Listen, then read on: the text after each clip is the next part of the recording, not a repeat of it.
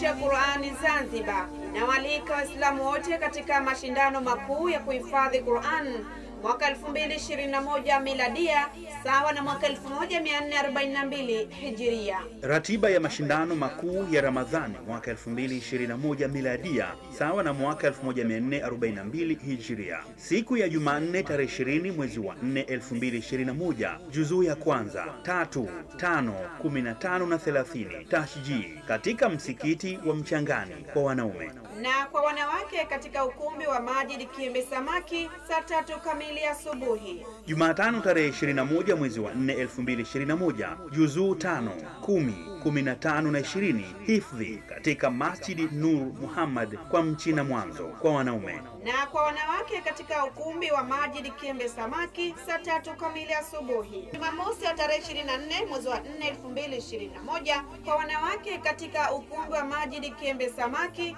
mashindano ya judhuu 30 saa tatu kamili asubuhi. Na Jumapili tarehe 25 mwezi wa 4 2021, mashindano ya juzuu 30 katika Masjidi Jamiu Zinjibar Mazizini kwa wanaume.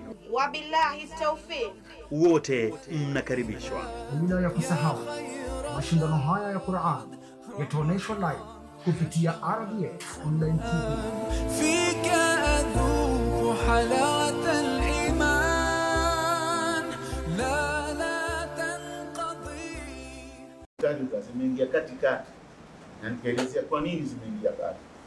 Alivyomaliza aya hizi mbili Mwenyezi Mungu anarudi kutusimulia kupitia Mtume Muhammad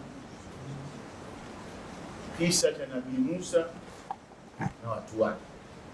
Nilisema na sote tunajua kwamba wafuasi wa Nabii Musa Bani Israeli kwa ujumla wao ni watu wakorofi, wakaidi masugu, wakiambiwa msichana wanashibu usiku, wakiambiwa nendeni hivi wanakwenda kiubavubavu, wakiambiwa ingieni Baitul Maqdis kwa kuinama kuonesha unyenyekevu kwa Mwenyezi Mungu, wanageuka wanaingia kinyumenyume. Ni watu wakaidi sana.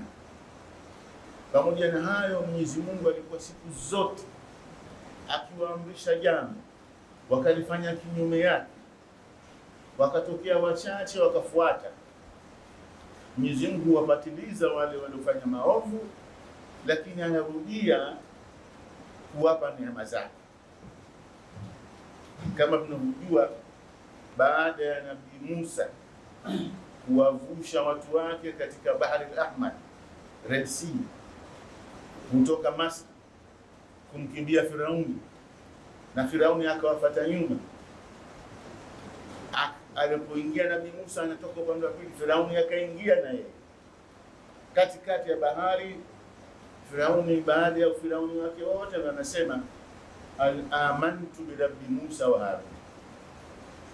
Mwenyezi Mungu akamjibu, ana alana wakad asaita min qabl falyauma nunajjika bibadanik litakuna liman khalfaka aya sasa ndio namwamini Mwenyezi Mungu. Miaka yote wakati wote unawaadhibu Bani Israeli, sasa hivi wanakubali kama Mwenyezi Mungu waliomwamini Musa na Harun ndio wa haki, basi leo tutakuokoa kiwiliwili chako tu, ili kiwe funzo na darasa na maonyo kwa wengine watakuja baada yako hiyo ilikuwa zaidi ya miaka elfu sita na mia tano iliyopita. Mtume Muhammad alijuaje kwamba na mwili wa Firauni upo? Miaka elfu sita miaka elfu tano kabla ya Mtume na miaka elfu sita na mia nne hadi hivi sasa, lakini Mtume kabash- kabashiria katika Qurani kwamba Mwenyezi Mungu kamwokoa Firauni mwili wake tu ili awe funzo kwa sisi wale wanapata nafasi kwenda Masri wakaingia makumbusho ya mafirauni wanamkuta mpaka leo.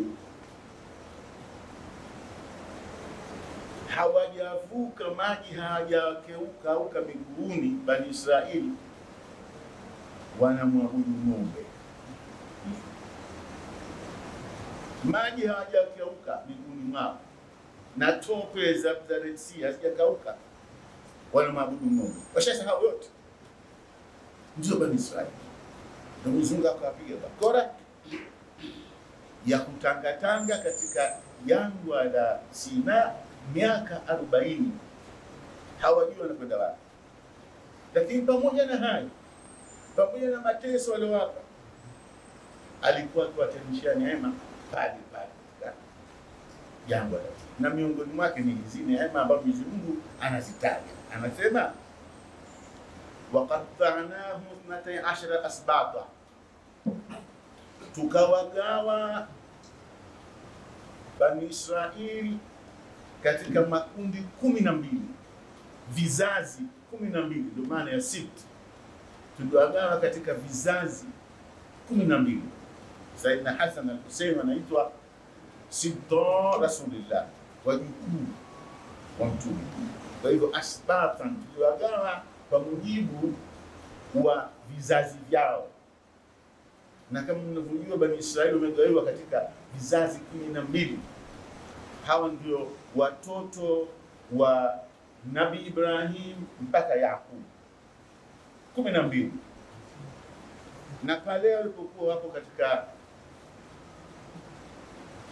jangwa la Sina, Mwenyezi Mungu akawagawa vile vile katika makundi kumi na mbili. Kwa nini? Kwa sababu ni, ni watu kama vyosema walikuwa korofi, rahisi sana kufitinishana wao kwa wao. Kila mmoja anataka kumfitinisha mwenziwe asimtii Mwenyezi Mungu, lakini kama ilivyokuwa kawaida kawaida ya Bani Israeli, bali kawaida wanadamu wote duniani, mkiwa uko mmoja, basi ni vigumu nyinyi ku- kufitinishana wenyewe kwa wenyewe. Nyinyi mtakuwa sasa hivi kuwafitinisha gurupu jingine ndio Mwenyezi akawagawa hivyo. Ili wasifitinishane wenyewe kwa wenyewe, lakini watambuane kwamba huyu ni, ni, ni, ni Bani Yahoda, huyu ni Daniyala, ma- ma- makabila kumi na mbili, huu ni ukoo wa Ismaili. Baadaye wote hawa waligawiwa hivi akawagawa na ikawa sio vizazi tu, lakini kila kizazi ukawa umma peke yake. Umma, umma ni watu wenye malengo mamoja, karibu mawazo mamoja, wenye maslahi pamoja, wanaokaa pamoja, ndio umma.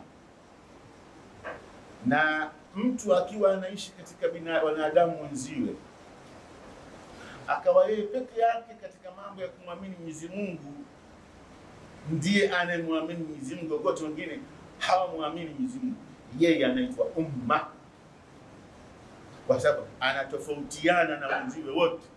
Ndio maana Mwenyezi Mungu akamwita Nabii Ibrahim, inna Ibrahima kana ummatan hanifan musliman, peke yake kwa ni umma, na ndivyo nilivyokwenda katika maisha ya wanadamu. Watu wakiwa wamoja, wanasikilizana, wana imani moja, wana itikadi moja, wana maslahi mamoja, watatokea wakorofi ndani yake, lakini unajulikana huu ni umma. Kwa hivyo hawa kumi na mbili makocha ma- haya, kila mmoja likawa sio kizazi tu wameweka mshikamano, lakini ikajaliwa ni umma peke yake, na hawa walipokuwa wanatangatanga katika jangwa lile miaka arobaini hawalini, hakuna chakula, hakuna maji, jangwa. Baada ya mabudu ng'ombe wengine.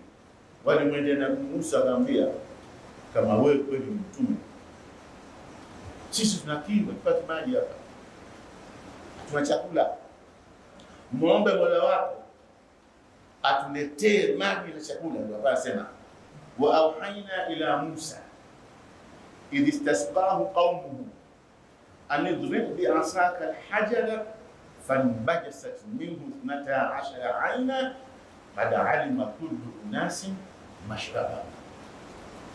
hapa kuna takdim na taakhiri. Mwenyezi Mungu kakutaja kamtanguliza Musa kwamba tulimpa wahi Musa pale watapokuja watu wake kumwomba awapatie maji, kwamba chukua fimbo yako lipige jabali litapasuka, na likipasuka litatoka chemchemi kumi na mbili. Kila umma katika hawa Bani Israeli hapo katika dini jangwa hilo atajua chemchemi yake iko wapi. Tafsiri na takhir. Kwa nini? Kwa sababu mtume ndio anastahili kwanza, kwamba akapewa wahi wa atachoulizwa kabla ya kuulizwa. Kwa hivyo kamtanguliza kumtaja Nabii Musa kabla ya kutaja maombi ya watu wake watakaokuja kum- kumwomba. Na Akasema wa ila Musa, mapema tulimwambia idh istasqahu qaumuhu, watu wake watapokuja kumwomba mvua au kumwomba maji. Kuomba mvua wa maji inaitwa al-istisqa. Mtume alisali salati istisqa na kuwafundisha masahaba. Tulimwambia chukua fimbo yako, piga jabali kwa mbele yako litapasuka litoke chemchemi kumi na mbili. Kila mmoja katika watu wako atajua chemchemi yake iko wapi, ili msije wakaanza kupigana, lakini akimwona anayekuna pale ndugu yake au jamaa yake atakuwa afadhali. Wanasema kuna mwanasiasa mmoja, waziri mkuu wa wa Singapore, na nilikuwa balozi, aliniambia tatizo letu sisi hapa Singapore kwa upande wa nafasi ndio sawa sana na tatizo- letu lenu nyingi Zanzibar. Hatuna nafasi ya kutosha, kisiwa hakipanuki, lakini nyinyi mnaongezeka. Sasa sisi tuna mambo mengi ya kutugombanisha kuliko nyinyi, kwa sababu sisi hapa tuna Wachina, tuna Wahindu, tuna nani hawa Wamalee na kadhalika, makundi mbalimbali, lakini hatugombani.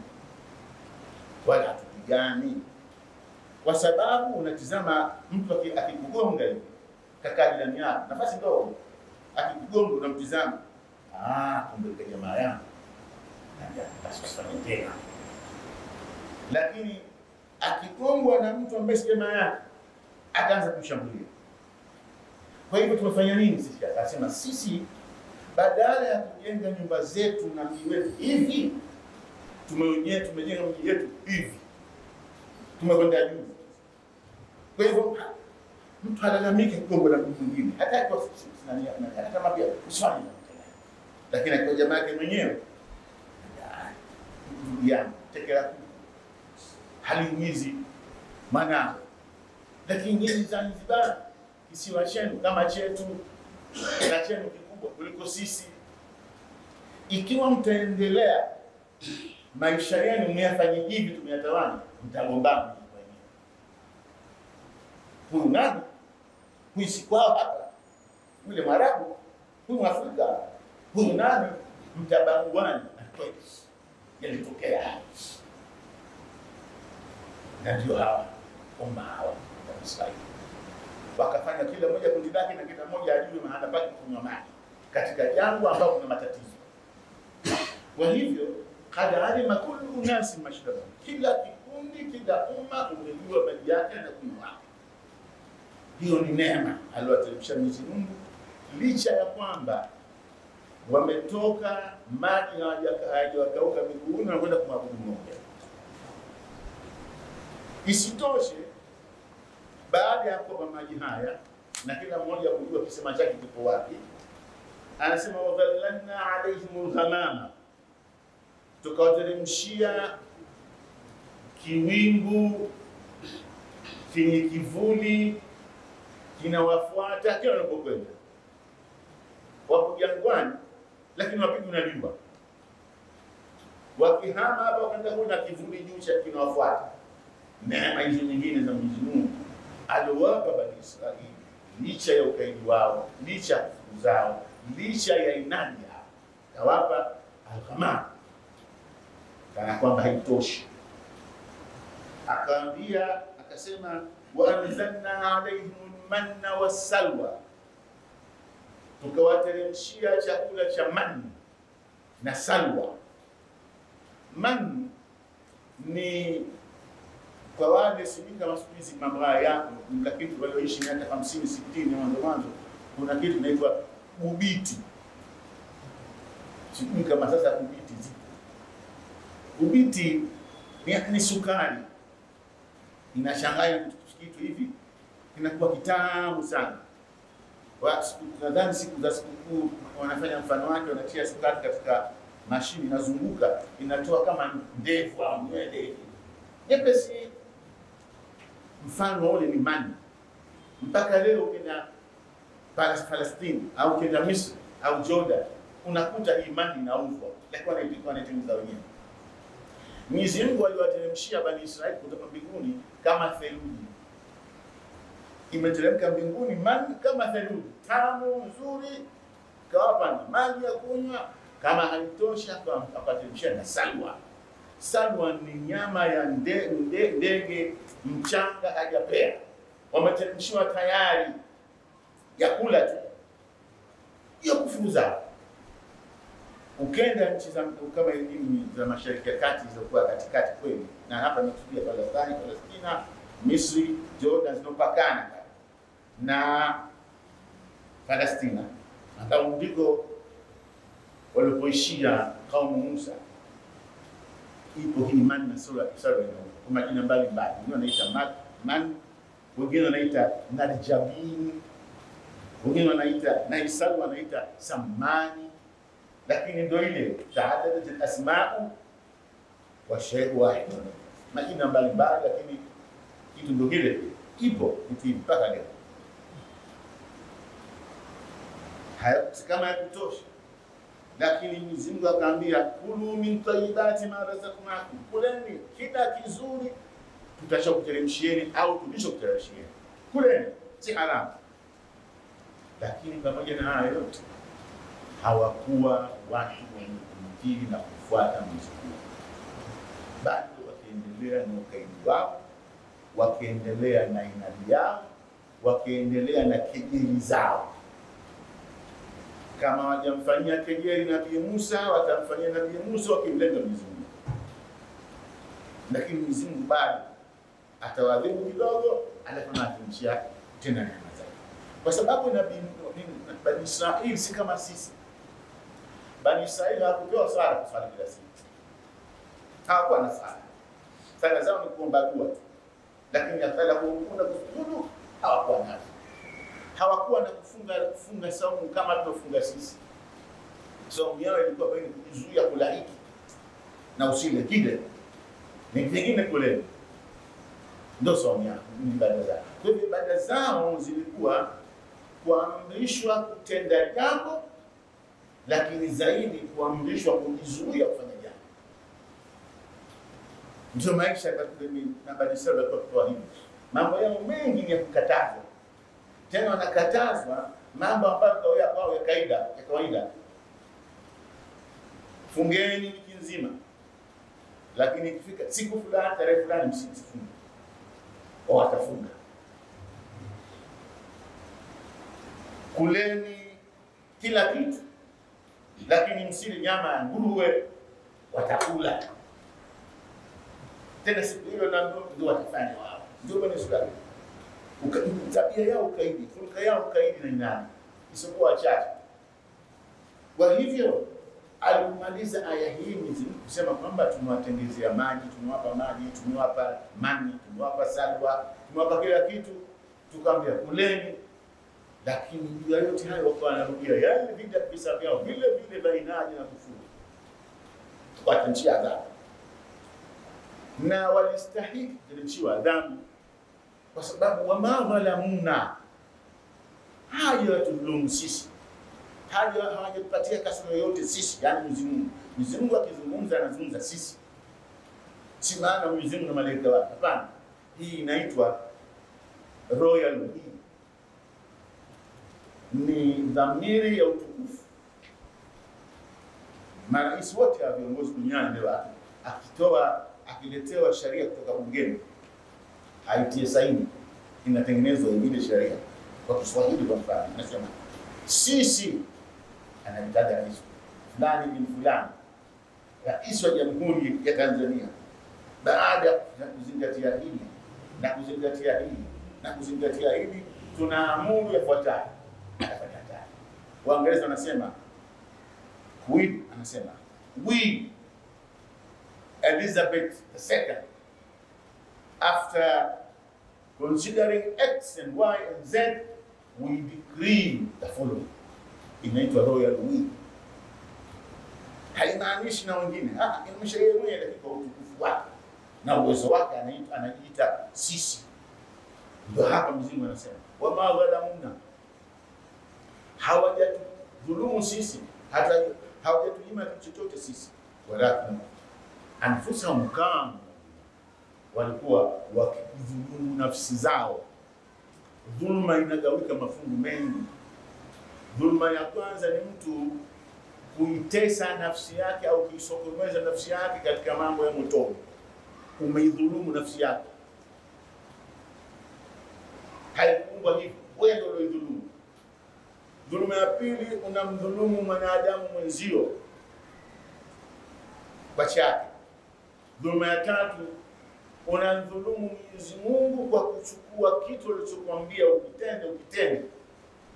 Hiyo ni dhulma dhidi ya Mwenyezi Mungu. Mungu hadhulumiki, lakini wewe ndio unafanya una, una jambo vile, unakurudia mwenyewe. Dhulma yako mwenyewe, nafsi yako inasameheka kwa kutubu kuliko Mwenyezi Mungu. Mlango wa toba ufungwe mpaka jua lichomoze magharibi kwenda mashariki, au mpaka kiama cha mtu kimjie, kama vile nani Firauni alikuwa anakufa kiama chake nakuja, hakuna kutubu. Lakini nini, dhuluma iliokuwa baina yako na mwanadamu mzio lazima irudishwe, haisameheki, hata uwe na thawabu ukubwa wake kama dunia nzima. Ili utailipa utake usitake, na kulipa kwake ni kulipizwa au kulipish, kulipishwa siku ya Kiyama. Mtume anasema atadruna man muflis, mnamjua nini nani mtu aliyefilisika? Masahaba akasema naam, man laisa lahu dirhamun wala dinar, mtu ambaye hana hana shilingi wala dola wala senti, huyo ndio mfilisi. Tunasema hapana Muflis ni yule aliyofika siku ya Kiyama akafufuliwa akakutikana amali zake njema ni nyingi mno za kuweza kumpeleka peponi, lakini kabla ya kuambiwa haya nenda peponi, anatokea mtu anasema, mimi kanidhulumu hichi, kanyang'anya mali yangu, nataka mkushini. Hana za kurudisha. Mwenyezi Mungu malaika, megeni sehemu ya thawabu zake, mumpe huyu kazi inakwenda hivyo hivyo, inafungua ile sababu zake mpaka zinakuwa nini, muflis kalko, wanasema Wahindi, hana chochote, hana mbele, hana nyuma. Baadhi wanakuja watu kudai, wanamuza tufanye nini? Anasema chukueni dhambi za huyu mwenye deni, mtupieni yeye. Wanamekwa natukia mpaka sasa, dhambi zake ni nyingi za kumpeleka motoni. Alikwenda peponi, lakini anakwenda motoni kwa dhuluma za watu. Ndio maana wakamsikia Mtume anasema, akifa mtu akalitewa, ulizeni ana deni huyu, anadaiwa. Kama anadai ni mwingine, lakini hasa anadaiwa. Akiambiwa naam, anadaiwa, anasema msalieni mwenyewe mpaka baadaye neema zimekuzidi. Ndo hapa anasema atakayekufa nikaletewa nimsalie na ana deni nitalibeba mimi, kwa sababu anatoa katika Baitul ili kuwashajiisha watu waliosilimu na ambao pengine alikuwa na uwezo au sababu mbalimbali, lakini deni la mwanadamu mwenzio halisameheki, na si lazima iwe deni la pesa au deni la mali au deni la ardhi au nyumba umenyang'anya mtu, hata kumtukana na kumvunjia heshima yake deni ya nafsi yake. Ndio maana unaambiwa ukifanya jambo baya lifuatilize kwa jema, litalifuta. Yani anza kulimbika thawabu za mambo ambayo umeyafanya wewe, si kutokana na amali zako njema, lakini umefanya makosa ya makusudi. Fanya jema. Ukifanya nini sayia, atbiha bilhasana tamhuha. Ukifanya jambo baya, iwe kwa makosa, iwe kwa tubu, rudi kwa Mwenyezi Mungu, toa sadaka, itafuta hiyo. Ndio hivyo nasema dhulma ya mtu hairudi, wala tahsabanna Allaha ghafila amma ya'maluhu dhalimun innama yuakhiruhum ila yaumin tashkhasu fihi alqulub walabsar. Msidhani Mwenyezi Mungu kawasahau wenye kudhulumu. Hapana, anawapururia tu mpaka siku itakuwa yakakodoka macho yao. Israeli wanachukua roho, macho ni kudokoka, toka hivi. Siku ile ndo utajua nini kupatilizwa kwa dhuluma za watu, ama dhuluma baina yako na Mwenyezi Mungu, hata ikiwa dhuluma ya kukufuru, kumshirikisha, kumkufuru, maadamu utarudi kwa Mwenyezi Mungu kabla ya kiama chake, Mwenyezi Mungu anakubali. Toba na takana, vinginevyo utakwenda na na dhambi zako. Kwa hivyo Mtume anasema hapa, sio si hawa kama makosa yao haya hawakudhulumu sisi, hawa hawajatuchukulia chochote kwetu sisi bani Israeli, walakin kanu anfusahum walikuwa wakidhulumu nafsi zao wenyewe na kuzitesa nafsi zao wenyewe kwa watayopewa. Mzimu anaendelea kutaja ukaidi wao. Kwamba na wakiambiwa na Mwenyezi Mungu, wa idha qila lahum uskunu hadhihi alqarya, nendeni mkitoka katika jangwa la Sina, nendeni Jerusalem, mgeuze hayo mji huo ndio kijiji chenu, ndio ardhi yenu ya kuishi. Wa idha qila lahum uskunu hadhihi alqarya wakulu minha haithu shitum, kuleni kila mlichokitaka kizuri, kwa sababu nimesema ibada zao wao ni kuzuiwa nini wasile, lakini hapa ameambiwa nendeni Jerusalem. Jerusalem katika ardhi ambazo kuna rutuba. Kwa Palestina mpaka leo wana, wana, wana, wana makonde zao, pamoja na kwamba ni jangwa. deni kule na kuleni kile chokuwepo mlichokitaka, isipokuwa mlikataza. Wakulu hitta, mnapoingia katika mji huo semeni hitta, na hitta maana yake tufutie madhambi yetu, tuondelee mizigo ni ile hafifu. Wao wakenda kule, badala ya kusema hitta wakasema himpa, herufi zile zile wakimebadilisha tu, badala ya hita wamesema hinta, ngano. Ukorofi wa Bani Israeli. na ingieni wadkhulul baba sujada, ingieni katika mila miji ya zamani. Kwa wale wanakwenda walioishi nchi za Kiarabu, walitembea nchi za Kiarabu, wanajua ukienda katika kijiji cha watu utakuta kijiji aghlabu kimejengewa ngome, kimezungushwa na kuna lango kubwa la kuingilia katika kijiji kile, na Baitul Maqdis ilikuwa hivyo hivyo, hata Makka ilikuwa hivyo hivyo katika kila eneo la kuingilia njia kuu kuna mlango mkubwa. Kwa hivyo anaambiwa wadkhulul baba, mkiingia katika mlango wa Baitul Maqdis ingieni sujadan, mmeinamisha vichwa vyenu. Mkifanya hivyo, naghfir lakum khati'atikum, tutakufutieni hayo madhambi zenu. Baada ya kutuomba tukufutieni, na zaidi kwa wale watakaofuata, wanachoambia wasanazidu lmuhsinin, tutaongezea neema zaidi wale wanaotenda wema, lakini fabadala alladhina dhalamu qawlan ghaira alladhi qila lahum, wakenda wakabadilisha mambo, wakabadilisha maneno juu chini, songo mbingo, wameambiwa fanya hivyo, wamefanya vingine. Faarsalna alaihim rijzan, tukawateremshia adhabu kizaazaa kutoka mbinguni. Rijz ni kizaazaa chochote kinachotoka mbinguni kinaitwa rijz. Kizaazaa chochote kinachotoka ardhini kinaitwa zilzala, tetemeko la ardhi, au ardhi kupasuka ikakumezeni, au mafuriko yakaja yakakusombeni. Lakini mkiletewa rijzi, ni adhabu inotoka mbinguni ikaja ikakumalizeni. Inaweza ikawa moto ukateremka ukakufekeni nyote.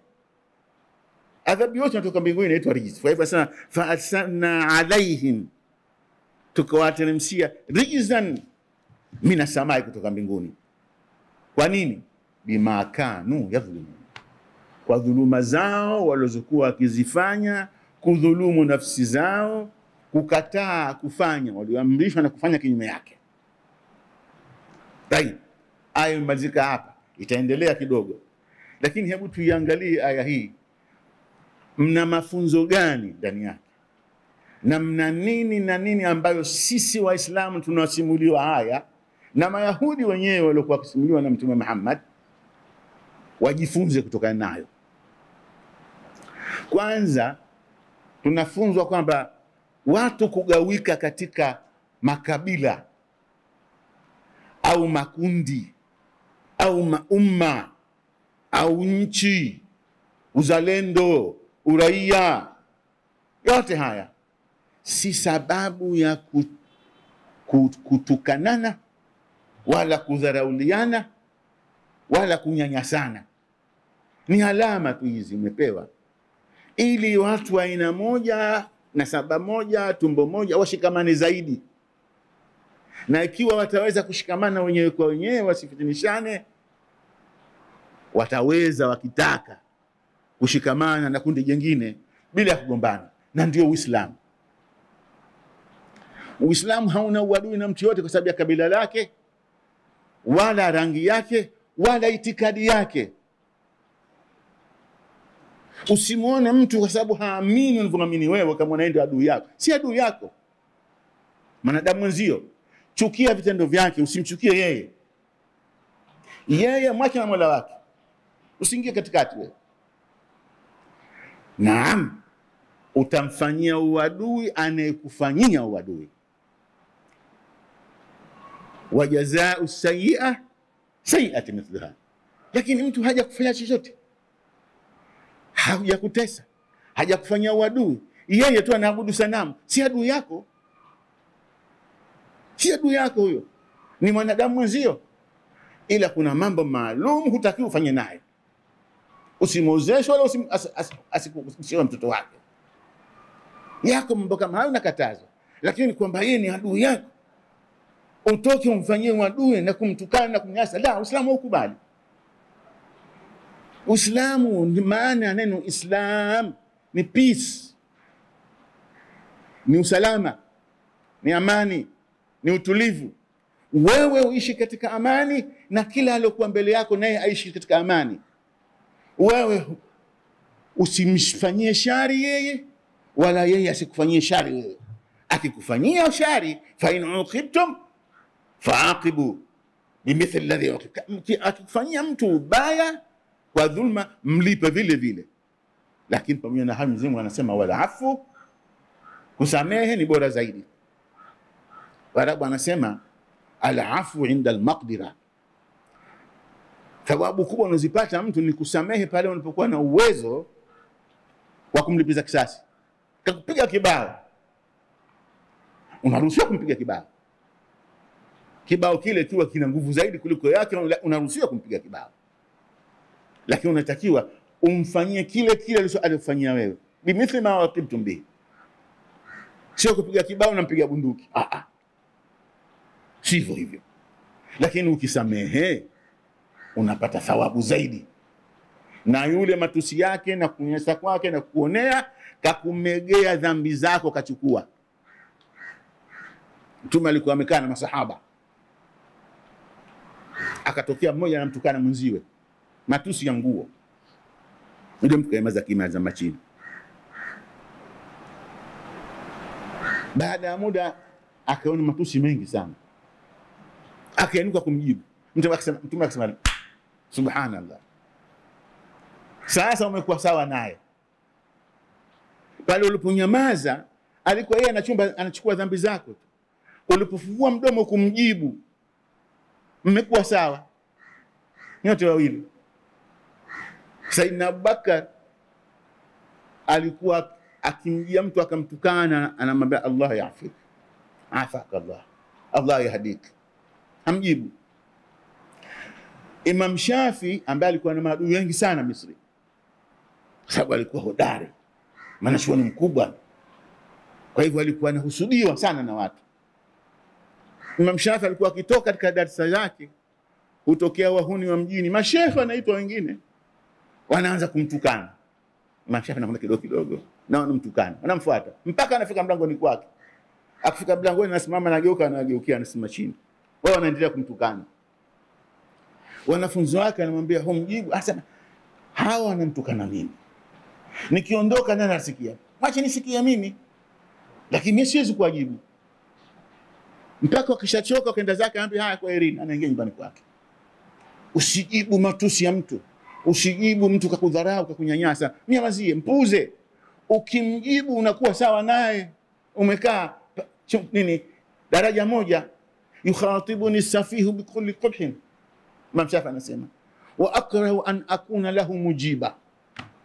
Yazidu safahatan wa azidu hidman kaudin zadahu lihraqu tiba. Safihi, mjuvi, mhuni. Anantukana kwa kila matusi, na mimi ninachukia kufungua mdomo wangu kumjibu.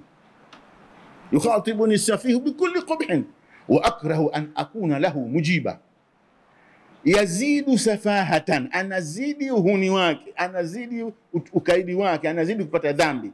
Wa azidu hilman, na mimi ninazidi kupata mpole. Mfano wangu na wake kaudin, kama udi huu wa mawardi nini, ukitia katika moto, kila ukiungua unatoa nini, harufu nzuri. Kwa hivyo yeye anaungua, mimi ninanukia. Kaudin zadahu lihraqu tiba eh. Alafu yeye anasema idha nataqa safihu fala tujibhu fakhairu min ijabatihi sukutu fa in ajabta anhu taadhama wa in sakatta kamadan yamutu. Safihi akifungulia mdomo akutukana, usimjibu, kwani ukimjibu ndo anapanda kiburi. Ala, kumbe nimemchoma yule, anakutukana tena kama moto kila ukimwagia mafuta petroli unazidi kuwaka. Kwa ukakutukana, kakutukana, ukaambia na wewe mwenyewe ah, anapanda. Kumbe yale nikikusemea inaku- inakuuma eh, anaongeza zaidi. Imam Shafi anasema akikutukana mtu usimjibu, fa khairu min ijabati sukutu, bora jawabu bora ya kumpa ni kumnyamazia. Ukimjibu unampa kiburi, na ukimnyamazia kwa, kwa uchungu anakufa kama dani ya mtu. Kwa hivyo simjibu. Ndio hivyo na- nasema hapa kwamba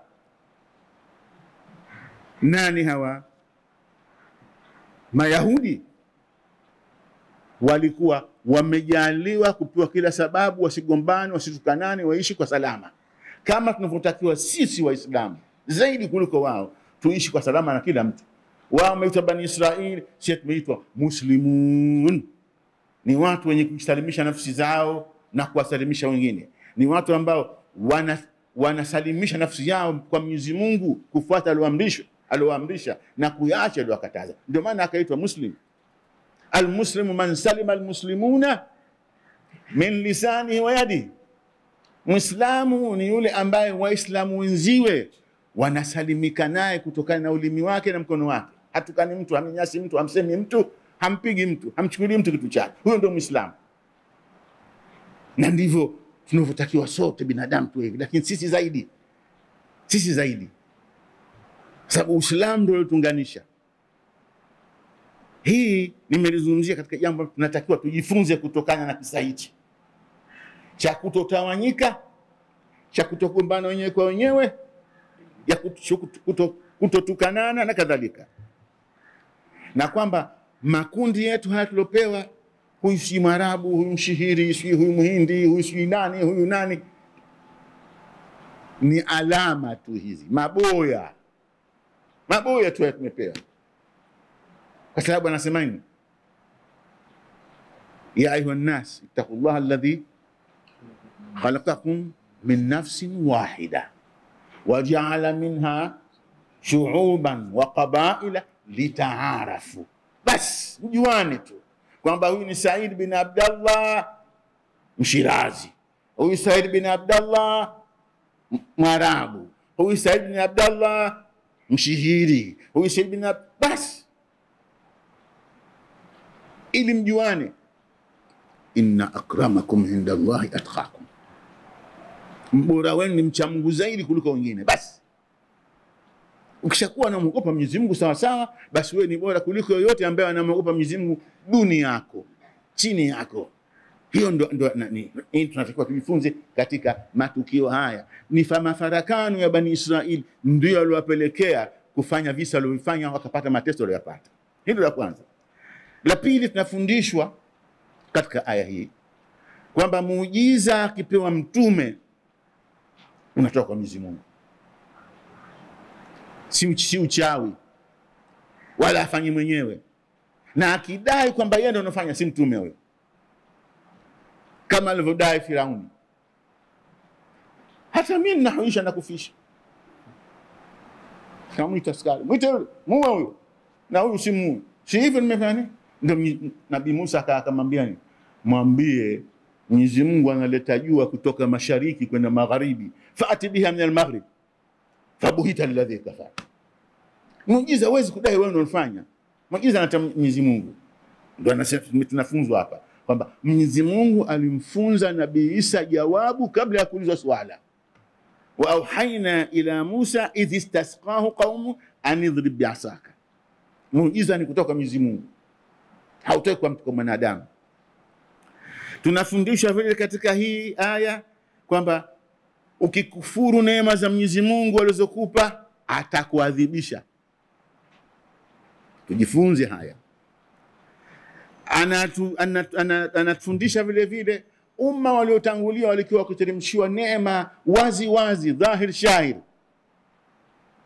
Sisi tunaliteremshiwa vile vile dhahir shahir.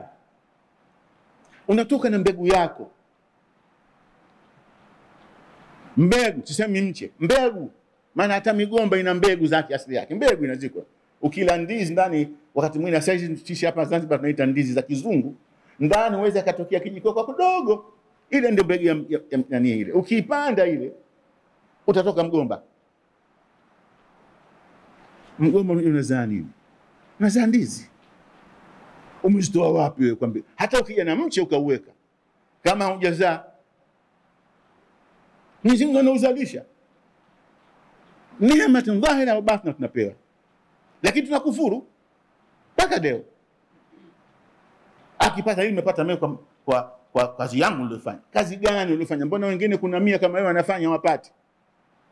Hata wewe wengine una- unafanya unafanya upati, unalima unaweka miche na kila kitu, hakuna kinachoota. Mwenyezi Mungu kupa. Kwa hivyo shukuru unachopata. Jua amekupa Mwenyezi Mungu, sio nguvu zako, si juhudi zako, si jitihada zako, alokupa Mwenyezi Mungu, na kila ukimshukuru anakuzidishia. La in shakartum la azidannakum, shukuru Mwenyezi Mungu atakuzidishia ne- ne- ne- ne- neema zake. Tunajifunza hapa vile vile kutokana na visa vyao haya, tunajifunza Ha, wale wameteremshiwa mani na salwa, sisi alhamdulillah, unaweka mbegu yako nda zako, hata ulishuriki, unasubiri mvua ije. Mwenyezi Mungu ndo atilie shamba lako, atilie maji, wewe kuvuna tu. Ni sawa sawa na imani na salwa, haina tofauti. Unatakiwa ushukuru, unatakiwa ule vilokuwa vizuri vyenye manufaa ndani ya mwili wako vinakusaidia, sio lkhabaith, sio vitu vya madhara, vitu vichafu, vitu vovu Huwezi kusema mchicha na majani ya bangi zote mboga, haiwezekani. Majani ya bangi si mboga, ni bangi. Haramu. Vipi utasema ni, ni, ni, ni, ni, ni, mboga? Ndio yale ya Mayahudi yale, fabadala alladhina dhalamu qawlan ghaira alladhi qila lahum. Unakwenda kuchukua mchicha unaofananisha na, na, na, na majani ya, ya, ya bangi, unaenda kuchukua tunda la kasumba unatoa unye, un, un, nini utomvu, una- unasema hii ni sawa sawa na da, madafu. Si madafu vile vile ndani yanatoka maji mnakunywa. Amekuhalalishieni vizuri na amekuharamishieni viovu vibaya. Acheni, msije. Tunajifunza hapa, tunajifunza kwamba ukiamrishwa kitu ukaambiwa kaishi katika nchi hii wewe we, Mwenyezi Mungu akupeleka wewe, umezaliwa Zanzibar mjini, kajalia makazi yako Mwera, kajalia makazi yako Kidimni, kule nikakupeleka, ndio ile waskunu hadhi alqarya, kakae hichi, ndio maisha yako. Ukienda kule uwe mtu mwema, sio unakwenda kule kufisidisha watu, hata kujifisidi mwenyewe. Ingia kule ukiwa bado mtiifu wa Mwenyezi Mungu omba maghfira kwa Mwenyezi Mungu na tenda mema ili waliokuwepo pale wakufuate. Sio unapelekwa kule omba maghfira, unasema hinta. Ukiambiwa ingia kwa unyenyekevu, si ingia kwa kiburi, unageuka nyuma nyuma, unaingia au unaingia pale na magoma kuwaonyesha watu mimi ndo ninakuja sasa. Tunajifunza kila mtu kwa daraja yake, na hapa tunafunji tun- tun- tuna, nini, kuna mambo mawili matatu nataka nieleze kwa, kwa, kwa nani. Nimesema sibt katika matamshi ya mwenye Qurani, hapa nataka nifafanue kidogo. Sibt ni, ni mjukuu na kizazi chake ndio sibt. Umma si sibt, anaweza wakawa sibt. Umma ni umati wa watu, na kwa ajili hiyo hakuna ubaya wala hakuna dhambi kushikamana na kizazi chako. Wa idha hadhara alqisma fa ulul qurba, ikitokea jambo la neema unataka kulifanya, anza na ndugu zako na jamaa zako. Mtume kamwambia mtu kutoa sadaka, anaambia nifanye nini? Kaambia kabla ya kutoa chochote, kwanza ibda binaf, ibda binafsika na wabiman ibda binafsika wa ahlik, anza kwanza nafsi yako na wahudumie watu wako. Usiwe unaenda kutoa sadaka unawapelekea watu wa mbali, unaacha ndugu zako na jamaa zako maskini.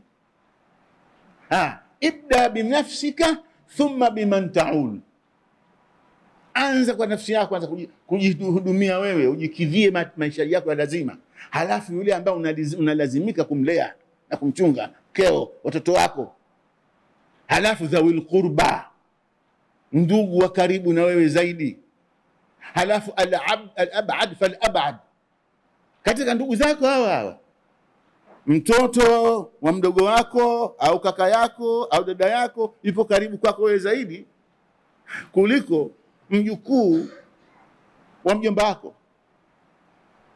lakini pia jamaa yako. Ndo Mtume anasema ibda binafsika thumma biman taul thumma alaqrabu falaqrab, halafu falabad. Sasa nenda toka